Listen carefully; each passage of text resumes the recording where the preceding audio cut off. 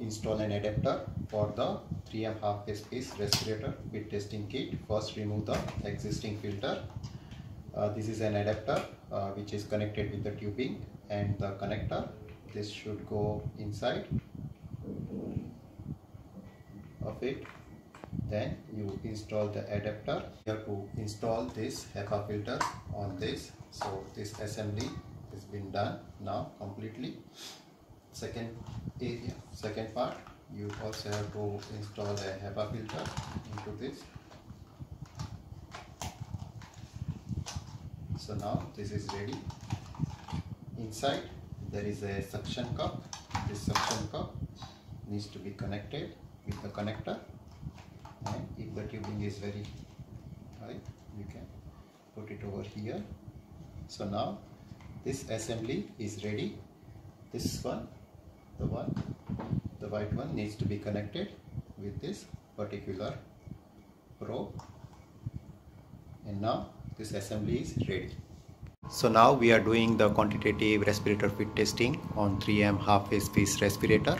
The particular uh, tubing has been connected and we will start the particular fit test now. Uh, all the exercise will remain same first normal breathing deep breathing head side to side head up and down talking bending over and normal breathing.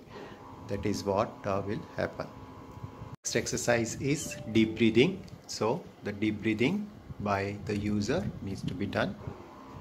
And then you will see that uh, for the 3M half facepiece factor is 450 and against pass level of 100 this exercise is head side to side. So user need to do head side to side.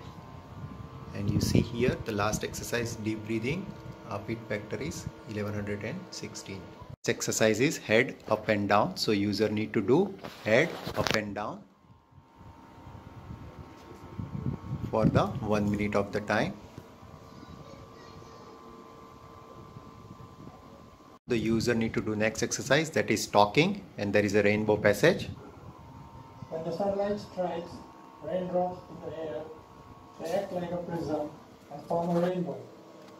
The rainbow is a division of user need to do bending forward.